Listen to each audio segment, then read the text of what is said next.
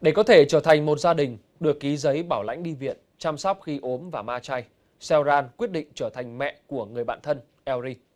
Câu chuyện đã được Seoran ghi lại trong cuốn hồi ký năm 2023 với tựa đề Tôi nhận nuôi một người bạn, trở thành trường hợp đầu tiên được biết đến rộng rãi tại Hàn Quốc về việc một người trưởng thành nhận bạn mình làm con nuôi.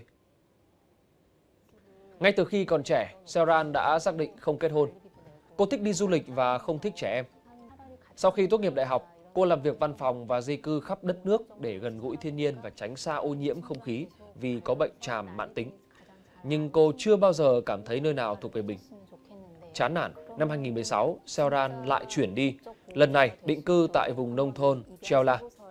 Ngay sau đó, cô phát hiện có một người phụ nữ khác đang sống một mình bên cạnh.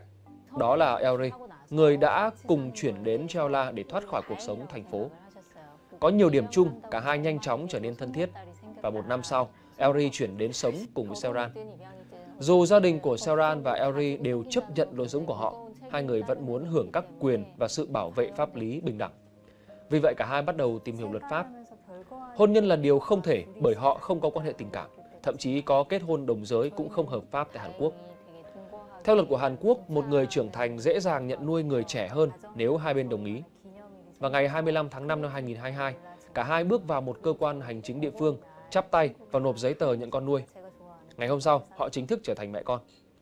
Câu chuyện về Saran và Elri trở thành gia đình thể hiện mong muốn và hình dung về ý nghĩa của việc trở thành